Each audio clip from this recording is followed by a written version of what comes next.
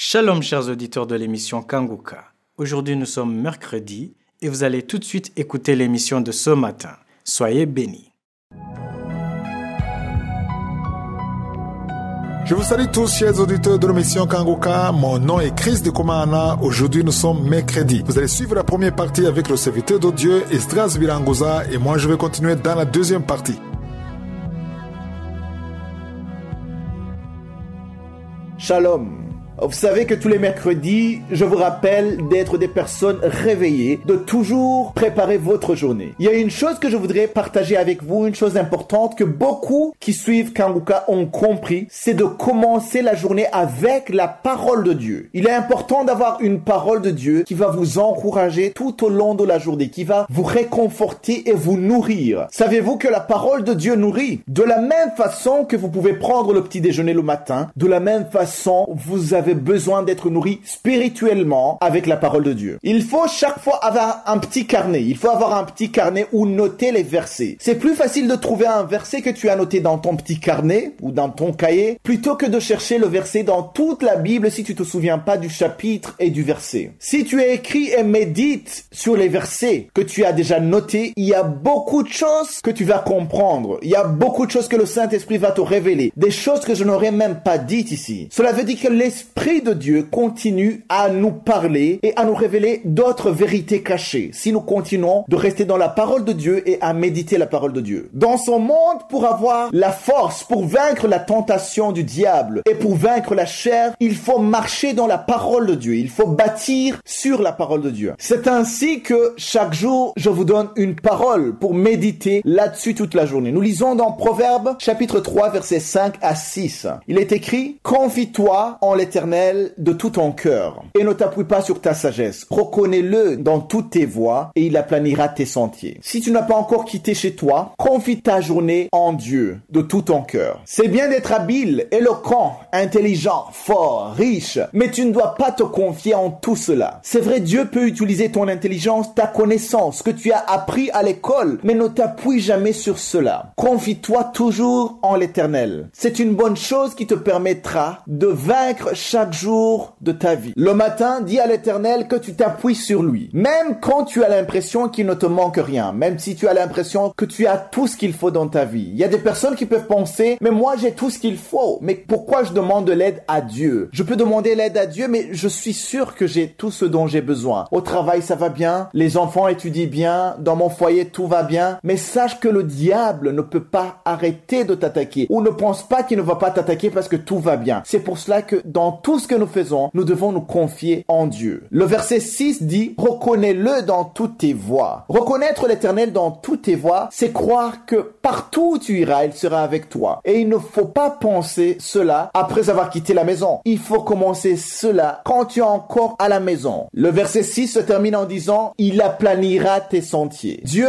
a normalement déjà préparé le chemin avant que tu quittes chez toi. Si cela est conforme à sa volonté, il a déjà préparé le chemin pour que tu aies ce travail que tu es en train de chercher. Si c'est sa volonté, ce que tu cherches aujourd'hui, il a déjà préparé le chemin pour que tu l'obtiennes. L'être humain se confie en beaucoup de choses. Tu peux te confier en tes capacités parce que tu as toujours réussi à l'école, tu as réussi dans ta vie jusqu'à aujourd'hui. Tu peux te confier en ton argent, tu peux te confier en ton réseau parce que tu connais beaucoup de gens qui peuvent t'aider. Tu peux aussi te confier en ta voiture, ta maison, ta belle maison. Mais tout cela peut avoir une faille. Ça a une limite dans ta vie. Mais celui qui se confie en l'éternel n'a pas à craindre. Quand bien même il y a des attaques, c'est l'éternel des armées qui te défendra. C'est lui qui a plani les montagnes. C'est l'éternel qui renverse les forteresses. Avoir la foi en Dieu, c'est aussi lui montrer qu'on accepte de dépendre de lui pendant toute cette journée qui commence. Qu'on accepte que la journée dépende de lui. Oui, nous pouvons préparer ce que nous allons faire. Nous pouvons avoir des plans pour toute la journée. Oui, c'est possible. Mais au fond de nous, nous devons savoir que nous avons prié en lui confiant toute la journée, en lui confiant notre vie, en lui confiant tout ce que nous allons faire.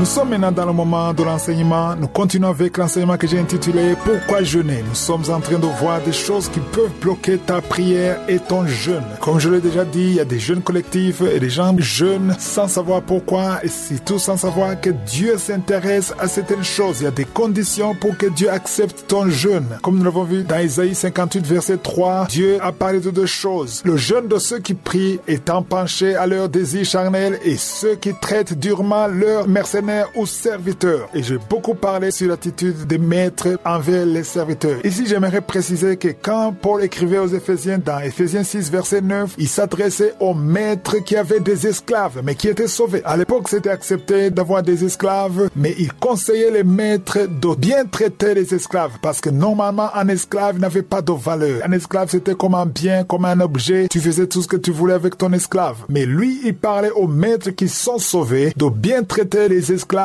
même s'ils sont esclaves. Il dit au verset 9, vous maîtres agissez de même à leur égard et abstenez-vous de menaces. Donc, il faut bien traiter ton serviteur. Il faut pas l'insulter. Il faut pas le traiter n'importe comment parce que c'est toi qui le paie. C'est pour cela que Paul insiste en disant que leur maître, c'est le même maître que le tien. Vous avez le même maître. Vous avez le même Dieu dans les cieux. Ça dit que le Dieu qui a créé ton serviteur, c'est le même Dieu qui t'a créé. C'est lui qui lui donne la vie et c'est lui qui te donne la vie. C'est lui qui te donne l'énergie et c'est lui qui te donne l'énergie. Donc, vous avez tous des comptes à rendre au même Dieu. Voilà pourquoi il faut respecter ton serviteur. Il faut respecter ton contrat. S'il y a un montant que tu dois lui payer chaque mois, il faut respecter le montant que tu as promis. En Afrique, j'ai vu des patrons qui chassent leurs serviteurs. Ils ne les paient pas pour les jours qu'ils ont travaillé. Peut-être il y a eu un problème au milieu du mois et tu le chasses comme ça et tu ne le paies pas pour les 10 jours ou les 15 jours qu'il a travaillé. Si tu fais ça et que tu vas devant Dieu pour jeûner, ton jeûne ne sera pas accepté parce que Dieu s'intéresse à ton serviteur. Dieu s'intéresse à ta nounou. Dieu s'intéresse à ton cuisinier. Dieu s'intéresse à la personne qui dépend de toi financièrement. Tu le paies? Oui, mais il a un Dieu ou elle a un Dieu. Et Dieu s'intéresse à ce qui se passe dans ta vie, dans ton environnement, dans ta famille. C'est ce que nous verrons dans cet enseignement. Souvenez-vous de Moïse. Moïse était sur la montagne d'Ossina. Il était en train de jeûner et prier pendant 40 jours. Il était sur la montagne. Le peuple de Dieu était en bas. Mais il y a des choses qui se sont passées pendant que Moïse était sur la montagne. Et Dieu lui a dit, arrête de prier, descends parce qu'il y a un problème dans mon peuple. Ils se sont fait un veau d'or. Ils sont en train de faire de l'idolâtrie. Et Moïse a été obligé d'interrompre la prière, la communion avec Dieu. Il est descendu pour régler un problème au bas de la montagne. Qu'est-ce que ça veut dire? Ça veut dire que quand tu pries, même si tu as un esprit, même si tu parles en langue, Dieu s'intéresse à ta vie de tous les jours. Dieu s'intéresse à ce qui se passe là où tu travailles. Dieu s'intéresse à ce qui se passe dans ta maison. Quand Dieu a dit à Moïse, arrête, va d'abord régler ça. Même toi qui pries, qui as de jeûner une semaine, deux semaines, 40 jours, Dieu peut te dire, pendant le jeûne, arrête ce jeûne, va d'abord régler ton problème avec ton employé, va d'abord régler ton problème avec ta femme ou avec ton mari. C'est-à-dire que Dieu ne regarde pas seulement ce que tu dis, ne considère pas seulement que tu n'as pas mangé, que tu t'es enfermé dans la chambre, mais Dieu observe ton attitude, ton comportement en dehors du jeûne. Il y a un autre verset que j'aimerais qu'on lise, c'est dans Colossiens 4, le premier verset. Il est dit, Maître, accordez à vos serviteurs ce qui est juste et équitable, sachant que vous aussi, vous avez un maître dans le ciel. Ici, on insiste encore sur le maître dans le ciel. C'est-à-dire, le Dieu de ton serviteur, c'est le même Dieu que tu as. Parce qu'il dit, accordez à vos serviteurs ce qui est juste et équitable. Est-ce que tu es juste et équitable avec ton serviteur, avec ton employé, avec ta nounou, avec ton domestique, avec ton cuisinier, avec le gardien de ta maison? Est-ce que tu es juste et équitable? Ou bien tu abuses de ton pouvoir, tu abuses de l'autorité que tu as? Si tu fais ça, souviens-toi que tu as un maître dans le ciel qui t'observe et à qui tu dépends et qui te donne la vie, qui te donne tout ce que tu as, qui t'a même donné cette autorité que tu as. Voilà pourquoi il faut avoir la crainte de Dieu. Je suis sûr qu'il y a beaucoup de gens qui m'écoutent qui ne savaient pas que Dieu s'intéresse à la façon dont tu gères tes employés. Tu es un directeur, tu as une responsabilité.